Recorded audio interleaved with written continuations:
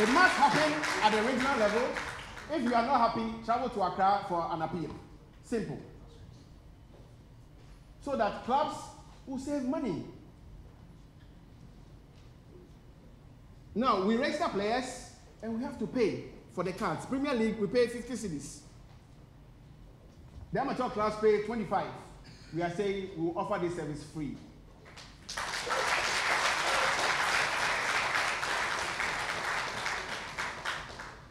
The same benefits that I've listed here will go to women's football, premier level. At the tail end, I will again speak more about sources of inflow for these various policies and projects that we're rolling out. Now, Division 1.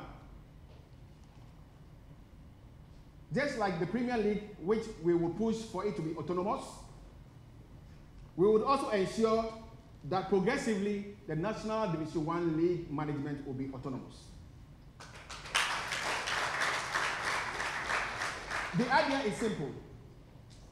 If you have a project and you offer dedicated 26 hours a day services to the project, the project will never be the same.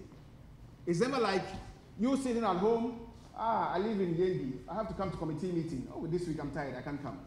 No, we need full-time staff to manage our most treasured commodities or properties. Management of the Premier League will be independent. Progressively, management of the 1 League will be independent.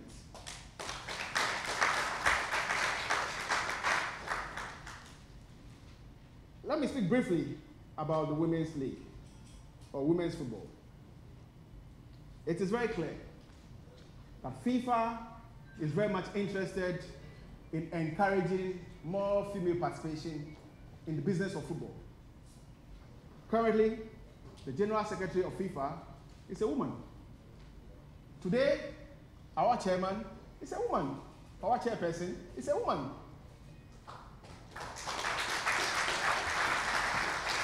Again, for the same policies, we want to help upgrade the training facilities of female Premier League teams. Same benefits, we want to provide footballs, 40 footballs for the Premier League teams, they are 16, 30 pairs of football boots for all female teams in the Premier League in the country. One of the biggest challenges of women's football is payment of referee fees. It will be thing of the past. They will not pay. Most importantly, we will take steps to allow our female teams to play at approved Division 1 and Premier League centers. This is so important for the development of the women's game.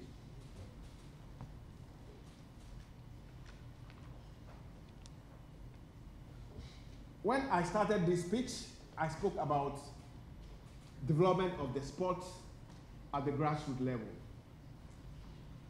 I want to talk about the work of the RFAs. I'm sure we have some RFA representatives here. Okay, I see. Or monthly from the Football Association. Mr. Kwabra you would not want to know. But clearly, we should be ashamed of ourselves. That if we want to produce those intangible assets to clearly dominate world football, then we are not being honest. Because there's lack of support, logistical support, financial support at the grassroots level. What is the best RFA secretariat we have in Ghana? Maybe Cape Coast. Maybe, just maybe. Or maybe the Brown region. Just maybe. But colleagues, have time and visit the offices of the various football, regional football associations. It is pathetic. It is pathetic. I'm saying that it's important we place premium on laying the solid foundation, preparing ourselves for the big takeoff. It's so important. Progressively, we would review the monthly allowances we offer to the Regional Football Association offices. We would also roll out a policy to employ admin managers for each region. The chairman is not a full-time staff. It's only the typist who is a full-time staff. How can you administer football in such a setup? How is it possible? So we're looking at the employment of admin managers across the length and breadth of the country. We're looking at establishing fully functional district offices for every region. Most importantly, we're looking at setting up what we call game centers. What do I mean by game centers? If we want to create products that are interesting for corporate Ghana, the way we have behaved is certainly not the way to go. We will need or we want to identify pitches, enhance their playing surfaces, and adapt so that pitches or those pitches as the official game centers for Colts football Division 2 and Division 3. What will mean is that there will be regular congregation of teams at selected venues to play games. Naturally, the crowds will come. When the crowds come, the media, we are interested. With, from the last congress that we had, we would bring beach soccer into the mainstream by plugging fully into the ideas and philosophy of the Beach Soccer Association. Same will be done to futsal soccer, respectively. Let me talk about one important segment of our industry referees.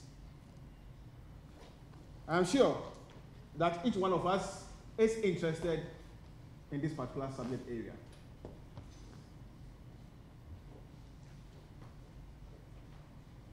Integrity here is key.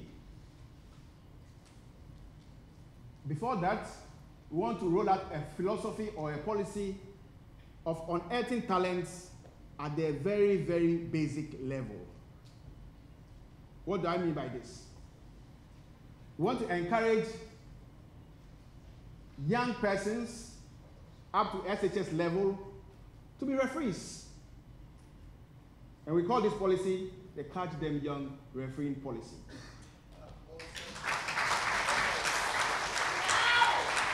Now, these referees, these juveniles, would officiate in all the Colts games that we played across the length and breadth of Ghana.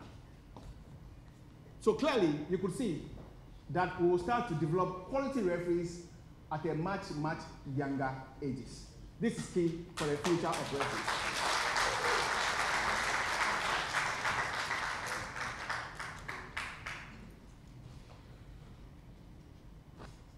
Of course, we will then have established what we call the technical directorate. And underneath this, we'll have continuous training for referees identified from the youth level up to the professional level. At the highest level, I'm talking about Premier League Division 1, we will roll out a policy for the provision of effective communication gadgets for referees at the top levels of our game, i.e. Premier League Division 1, communication gadgets. Review referee emoluments with the aim of improving their wealth. Furthermore, we will introduce reward schemes to incentivize referees, including awards for referees of the week, month, etc.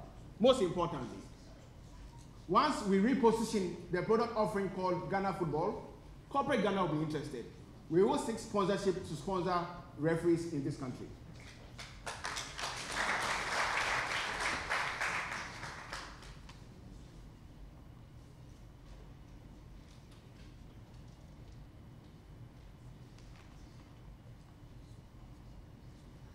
Madam Chairperson, I spoke about Colts football and the creation of game centers. Let me give you a clearer picture. In the Ashanti region, to corporate Ghana, with these numbers we are talking about, each club playing at a different venue across the country. Clearly, we would not be clever marketers. This is what I mean by the establishment of game centers to ensure that we congregate at chosen venues, we develop products, and we are able to market our Colts football to bring in the necessary revenue.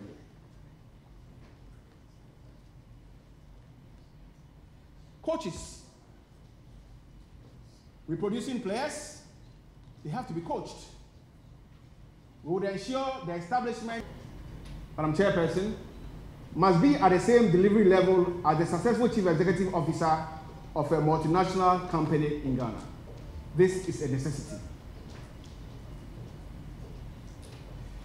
It is clear that we have so much human resource challenges at the FA.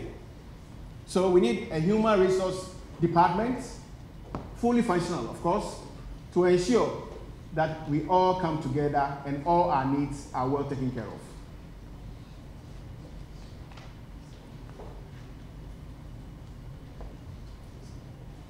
Clearly, with the establishment of the Secretariat, we also need to put together key departments. Marketing and sponsorship department is key, full-time. Communications department, key, full-time. New, new media is so key to the development of our sports. Today, many organizations are raking in money from new media. As an FA, what are we doing? Even my little dreams is making money from new media. Why not the FA? So we will set up a communications department with a clear philosophy of chasing money that can be accrued to the FA via new media platforms.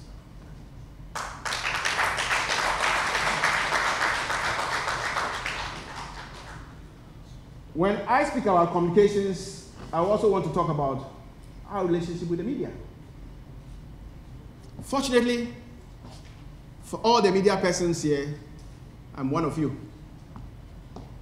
I clearly understand our needs better than almost all the aspirants. With all apologies to George. I'm a media person. I know what our problems are. In our little corner at Dawu, we try as much as we can to make our media people comfortable. Apart from the provision of water, which is free, we offer data to our media persons who visit the Theatre of Dreams. This will be key in going forward for football. At every Premier League Division 1 venue, we would offer free data for your usage.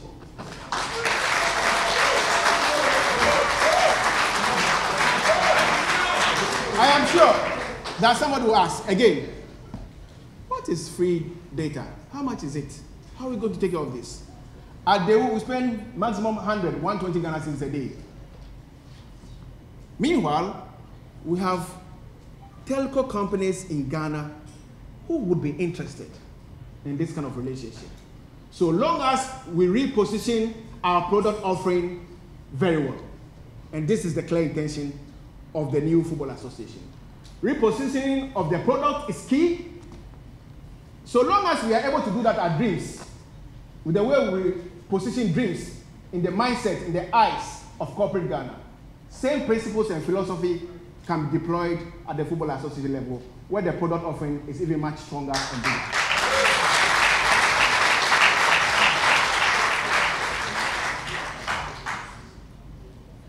There's one key partner that briefly I need to talk about before we leave.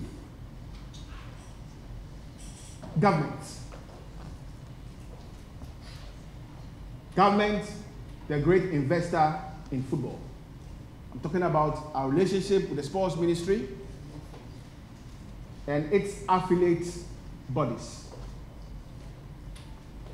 The new Football Association will clearly see government as a partner in development and foster the relationship best than ever. We will engage and indeed we will be proactive in engaging government to ensure that we stay clearly as partners. We will proactively engage government in the following areas, just to mention a few. One, to encourage district assemblies to adopt district Colts festivals. To have the Youth Employment Agency make annual donations of footballs, football boots to Colts clubs in their regions. This can only happen through engagements. Most importantly, I'm sure Dela will speak to this, will be interested in this, to engage government in the provision of tax exemptions to football teams who buy football equipment from abroad. We have club owners here, and we know what we go through when we want to import football equipment. Most importantly, we are talking about VAT and the effect, the net effect it has on club finances.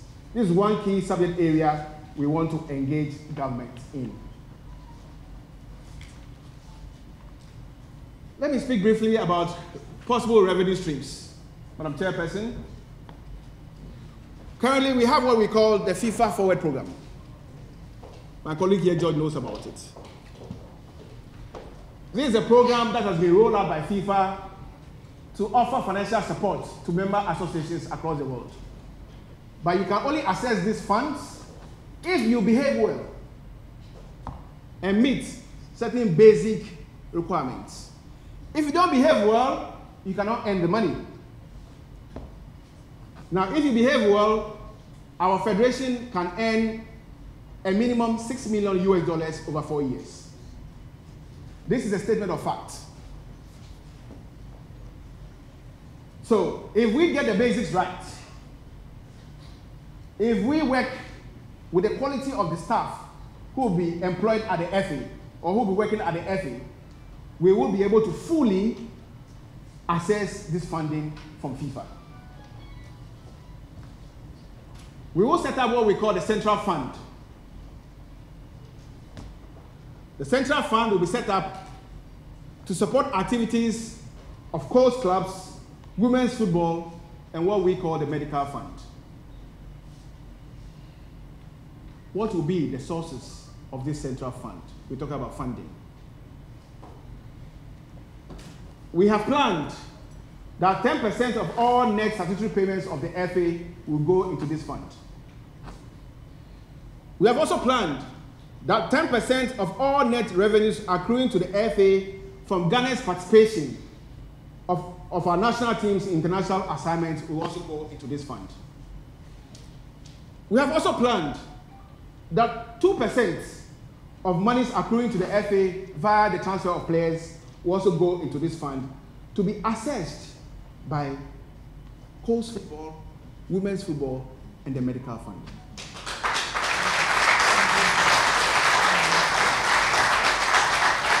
And I'm chairperson, you can see that we're talking marketing here. We are being creative. The same sources of revenue, different application of strategies to ensure that your dear game, the women's game, gets some funding. Our Colts clubs get some funding. This is key. If you don't play outside the box, believe me, our industry will continue to be stale. The next fund to speak about is what we call the medical fund. We have club owners here, club executives. Their players, unfortunately, get injuries and here we're talking about serious injuries. We're talking about injuries such as the bone, cartilage, and ligament injuries. Usually, a club will have to spend between 10,000 or 50,000 in such a situation. Usually, that could be the end of your most talented player.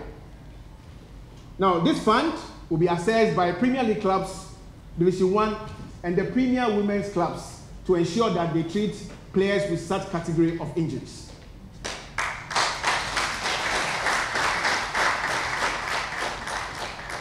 Madam Chairperson,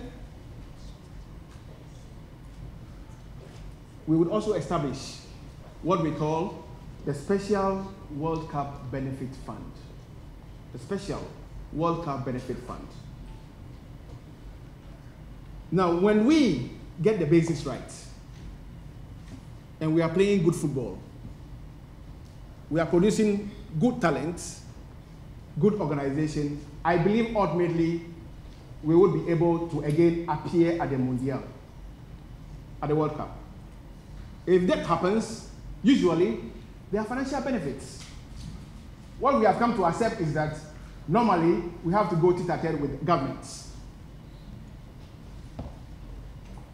We are saying that when we go through all these processes, if we get one dollar or two dollars or one million, we want to share with everybody.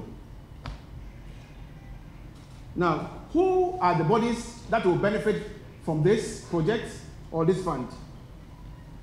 The GHALCA,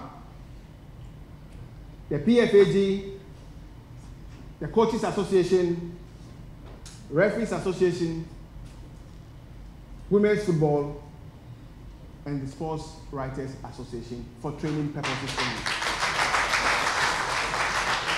So you can see that when my colleagues from the media help us to promote and to tell our story.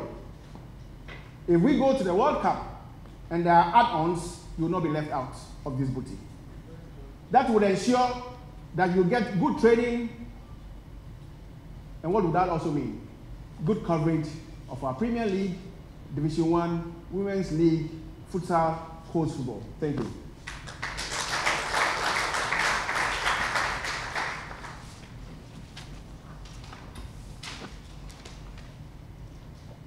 I'll conclude with a very, very simple analogy. And I'll crave the indulgence of everybody here to pay attention. There was an old rich woman, very rich, old woman from New Edubiase. This woman, I see he's very attentive. This woman had two sons. Two sons. One was educated in agriculture, Madam Chairperson, and she loved this daughter so much. And the other one was a trained doctor. This rich woman hated this daughter to the hilt. Once upon a time, this woman sat at home and was having a conversation with the one she loved most. Within the same moment, the other daughter walked through the door. And the woman was like, When you what you got? Within the same second, she had a heart attack. That very moment, this old lady had a heart attack. Now the question is, which of the two daughters will save her life? George, Yakubu, which of them? The doctor. Thank you very much. Colleagues, this is the moment, or this is the situation confronting all of us, especially we club owners, we delegates at the upcoming Congress.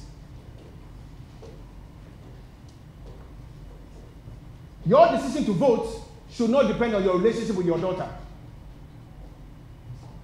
Your decision to vote must not be based on the fact that I hate this person or this guy is my business partner. Your decision to vote must rely heavily on who will provide the solution to an ailing industry. In that instant case, the woman hated that daughter so much, but she had the antidote to her ailment. She was her savior, not the beloved daughter.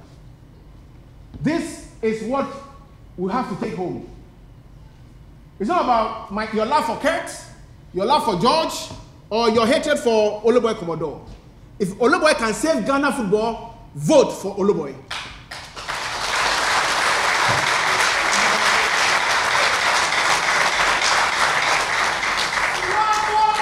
Our industry needs Kurt. Our industry needs George. Our industry needs Palmer. Our industry needs Naya Aponsa, Amanda Clayton, George, and Fred Pappoe. Why must we be fighting amongst ourselves?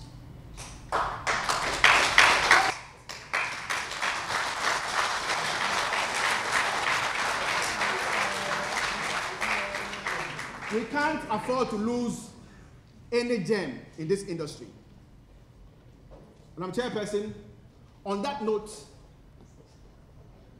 I would want to call on my colleague, George, his team, a team of Palmer, Amanda, and co, to join the game changing team.